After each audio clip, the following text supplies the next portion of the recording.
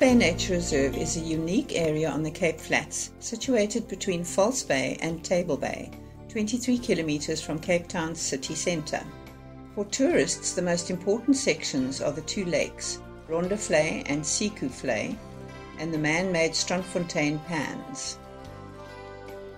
Although Rondevlei focuses on conservation, some of the recreational activities include bird watching, walking, fishing and picnicking.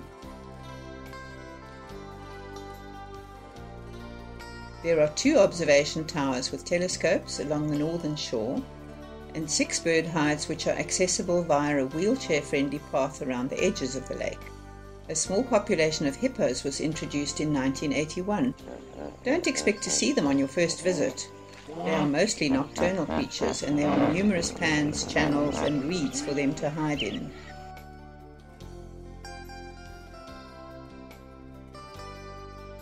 The Leonard Gill Field Museum, close to the Rondevlei entrance, provides simple but effective illustrations of the flora and fauna of the reserve, with its accompanying challenges. Is that the bonds for from here are from Scandinavia?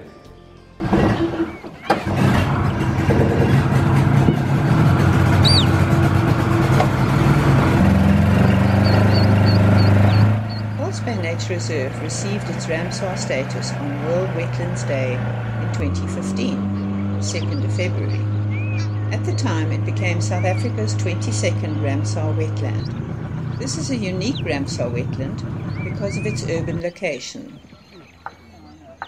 Eland antelope is being reintroduced into the reserve. Here, the young eland calves are seen in a boma, but they were subsequently introduced into the veld at Rondevlei. Western leopardhood, Amietophrynus pantherinus. Zeekoevlei is the main recreation node of the reserve and is a popular yachting, canoeing and fishing venue. The Zeekoevlei Yacht Club and Sailing Centre are the hub for most sailing activities. Water-based recreational activities such as sailing, fishing, rowing and limited power boating take place at Zeekoevlei.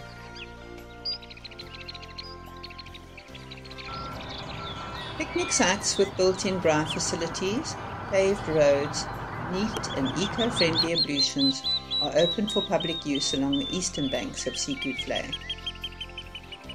Visitors can enjoy a picnic while participating or watching water sport on the lake. Annual events taking place at Zeekoevlei includes provincial and national angling competitions, sailing and rowing regattas, a model aircraft show, and an annual Birdathon fun walk and festival.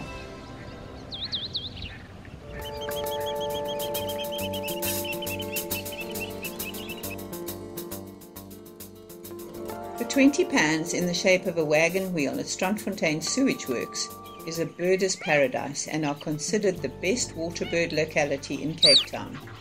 It is here that birders come to watch flamingos, pelicans, fish eagles, African marsh harriers, and many more that one would not expect to see so close to South Africa's mother city.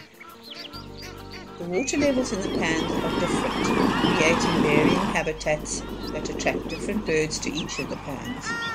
Roads between the pans are accessible with any sedan car or even a mountain bike.